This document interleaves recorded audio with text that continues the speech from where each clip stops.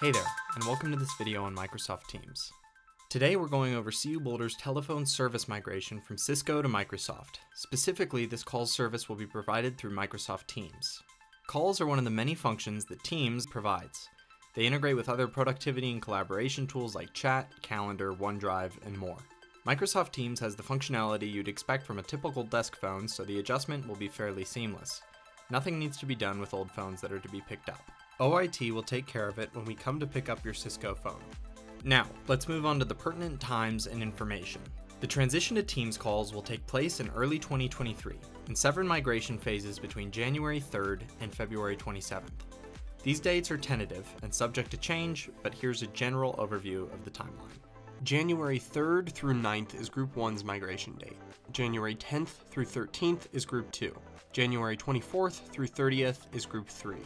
January 31st through February 6th is Group 4. February 7th through 13th is Group 5. February 14th through 20th is Group 6. And February 21st through the 27th is Group 7.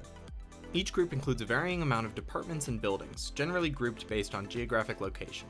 To learn which migration group you belong to, check out the Teams Calls project page on the OIT website.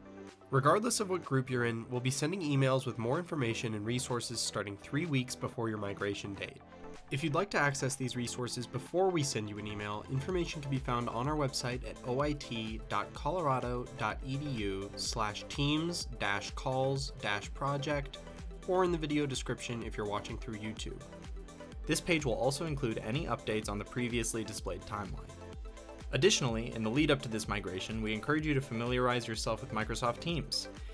Everyone at CU Boulder is already provisioned for Teams and can start using it at any time. Information about the application, as well as download links and training materials, can be found on OIT's website at oit.colorado.edu slash ms-teams.